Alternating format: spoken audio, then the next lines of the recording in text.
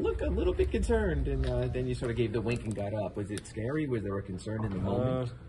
I knew I like hit knees. It just hurt a little bit more than normal. Um, but I knew I just banged knees, so it was a scare. But I told you know Spo right away I was good.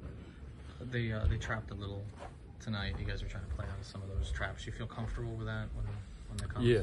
Um, I mean it's the first preseason game, so you know I've got adjustments and stuff that I've made over the summer. Um, but just getting more comfortable as the season goes on. You know I definitely do that as as we, we get into it. Your uh, your off ball defense tonight. You, you're very active that way. Is that a place you feel you made significant improvement or? Um, I'm just more experienced. Uh, I know where to be, and just trying to take a little bit more pride in it. Coach was saying that some of the turnover is a result of spacing, and obviously with Bam and Omer out there, it's a little different spacing than maybe you guys are used to. Is that something you're going to have to work through uh, when you go big, big?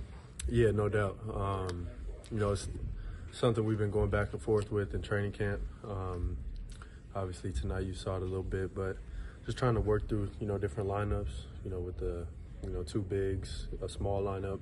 You know, we have a lot of guys who can play in different positions, and we can you know throw a lot of different you know lineups at, at guys and at, at teams. So.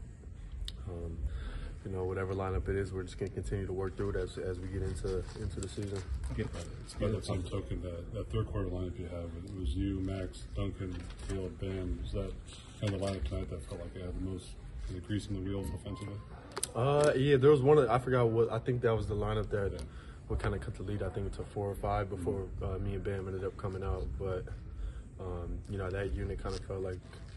And again, we've we've been playing them together for two, three years now, so we, we know how to play with each other. And you know, I think it's the lineups we haven't used will be the ones we need to work on the most. Does a lot change for you guys schematically when those two bigs are out there together, like on both ends? Um, honest, not really. Obviously, with O and at the five, you know, on defense, he's going to be in a drop. Opposed to Bam, we'll probably switch everything with him. Um, offense, obviously, it's a little different with two bigs, but I think either way, we still kind of play the same.